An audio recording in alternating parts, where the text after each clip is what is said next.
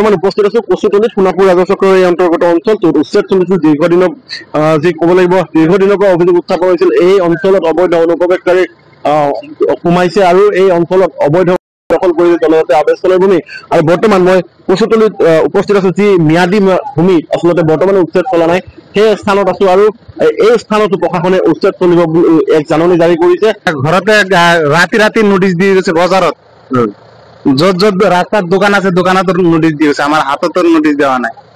জনাইছে প্ৰশাসনে যে ম্যাদী মাটিত উচ্ছেদ চলিব না প্ৰশাসনৰ এতিয়ালৈকে জনা নাই নদী মাটি কি গম পাইছে? আপোনাৰ ঘৰ বাৰী বিলাক যে খালী কৰিছে মানুহ বিলাকে ম্যাদী মাটিত থকা? বজাৰত কি নোটিচ দিছে? বজাৰত বজাৰত নোটিচ দিছে।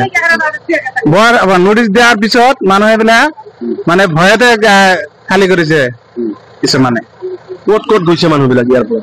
ক'ত ক'ত গৈছে কাৰোবাৰ ভাড়াত গৈছে মাটি বাৰী আমাৰ এটা মানুহ মাটি বাৰী নাই পাট্টা মাটি এটা বাৰীও নাই। মাটি বাৰী একো নাই আমাৰ তাত। আপোনালোকে এতিয়া যি বসতি স্থান কৰি বসতি স্থাপন কৰিছিল যি মাটিত আছে সেয়া ম্যাদী মাটি হয়। মই মেডি মাটি হয়। ম্যাদী মাটিত কি কৈছে প্ৰশাসনে? কি কৰিব কৈছে? মেডি মাটি বোলে ভাঙিব বুলি নোটিচ দি গৈছে।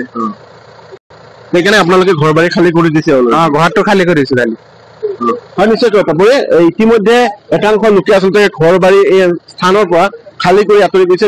বাসগৃহসমূহ আছে। সেই বাসগৃহসমূহ ভঙা নাই যদিও প্ৰশাসনে পুনৰ এই স্থানত ম্যাদী মাটিত উচ্ছেদ চলিব অন্য লোক আছে তেওঁৰ সৈতে কথা পাতিম। দাদা আপোনাৰ ইয়াতে ঘৰ? হয় মোৰ ইয়াতে ঘৰ। কিমান দিনৰ পৰা ইয়াতে বসবাস কৰিছিলে?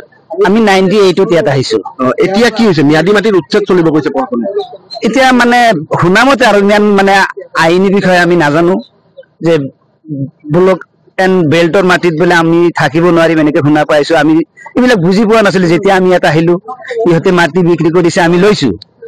বেল্টৰ মাটি না কিহৰ মাটি আমি গম নাপাওঁ।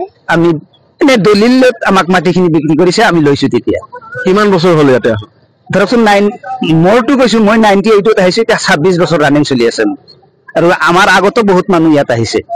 আহ, প্ৰশাসনে উচ্ছেদ চলাব বুলি কৈছে আপোনালোকে? প্ৰশাসনে সেনেকে উচ্ছেদ মানে কি এটা কাগজ এটা পেলাই দিছিলে ৰাস্তাত সেইটো আৰু কিছুমান মানুহৰ মোবাইলে মোবাইলে দেখা পালো যে পাট্টা নাম্বাৰ একৰ পৰা দুইশ দুই আৰু আপোনাৰ একচনীয়া একৰ পৰা এইটটি ছেভেন যিমানখিনি মানুহ ইয়াত বহি আছে এই মানুহখিনি তিনিদিনৰ ভিতৰত এই জেগা খালী কৰি দিবই লাগিব। তিনদিনৰ সময় বান- বান্ধি দিছিলে একচনীয়া আৰু পাট্টা মাটিত। পাট্টা মাটিত। তো এতিয়া আপোনালোকে পাট্টা মাটিত আছিল মানে একচনীয়াত আছিল নে পাট্টাৰ মাটিত মই নিজে পাট্টাৰ মাটিত আছিলো। এতিয়াও আছো বহি আছো। একচনীয়াটো আছে। ইতিমধ্যে একাংশই ঘৰ খালী কৰি দিছে ঘৰৰ আচবাবসমূহ অন্য স্থানলৈ লৈ- গৈছে। হয় মই নিজেও দেখা পাইছো বহুত মানুহ ঘৰ খালী কৰি বস্তু বাহিনী লৈ কিনে গুচি গৈছে ইয়াৰ পৰা। কিন্তু আমি মই নিজে যোৱা নাই এতিয়ালৈ। এই মাটিসমূহ আপোনালোকৰ নামত হৈছিল নে নামজাৰি হৈছিল নে? আমাৰ নামত নামজাৰি হোৱা নাছিলে। বেল্টৰ মাটি আমাৰ নামত পিছে শুনা পালো যে বেল্টৰ মাটি বোলে আমাৰ নামত নহয়। পিছত গম পালো আমি। সিহঁতে ক'লে যে নাই সেনেকে বেল্টৰ মাটি আপোনালোককতো সেনেকে আমি দিব নোৱাৰি। আপোনালোকে থাকক কথা নাই। আমি সেনেকে থাকক। আমি এনেকে ডাইৰেক্ট লিখি দিব নোৱাৰিম বা কোৰ্টত পৰা যে আপোনালোকক ৰেজিষ্টাৰ দিম আপোনালোকৰ নামত নহব। এনেকে কৈছে আৰু।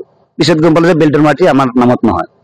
এতিয়া কথা হৈছে প্ৰশাসনে যি আপোনালোকক সময়সীমা বান্ধি দিছিল তিনিদিনৰ সেই সময়সীমা উকলিল। তাৰ পিছত কি ব্যৱস্থা লৈছে আপোনালোকে? আমিতো আমাৰ ফালৰ পৰা একো ব্যৱস্থা লোৱা হোৱা নাই। আপোনালোকে ঘৰ খালী কৰিবনে এতিয়া নকৰে? নাই এতিয়া ঘৰ খালী কৰি আমি যাম ক'ত? মই নিজৰ কথাটো মই নিজে কৈছো বেলেগৰ কথা ক'ব যোৱা নাই। এতিয়া আমাৰ যোৱা জেগাও নাই আৰু বস্তু বাহিনী লৈ ক'ত থম কি কৰিম? ল'ৰা ছোৱালী বিলাকে ক'ত থ- যাম? সেইকাৰণে আমি মৰিলে ইয়াতে মৰিম আৰু যি হয় ইয়াতে হ'ব মই ইয়াৰ পৰা যাব নোৱাৰিম আৰু। আপোনাৰ অন্য স্থানত মাটি নাই মানে? নাই নাই নাই। য'ত আছিলে সেইটোতো গৰাখহনীয়াই লৈ গৈছে নাইনটি এইটতে লৈ গৈছে। এতিয়া সেইখিনি জেগা নদী হৈ আছে। আমি ইয়াত আহি কিনে ইয়াতে ভোটাৰ হৈছো আমাৰ ৰেচন কাৰ্ড ইয়াতে চব কিছু আমাৰ ইয়াতে। ছোৱালীৰ ক- স্কুল কলেজ ইয়াতে যায়। আপুনি বিচৰা বাতৰি পাব কেৱল নিউজ এইটিন এপত। নিউজ এইটিন এপ ডাউনলোড কৰিবলৈ স্কেন কৰক এই Q R code. Google Play ষ্টৰতো পাব এই নিউজ এইটিন এপ।